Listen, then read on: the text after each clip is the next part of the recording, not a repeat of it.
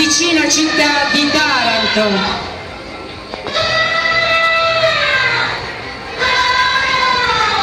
Sentiamo i suoni del carro adesso.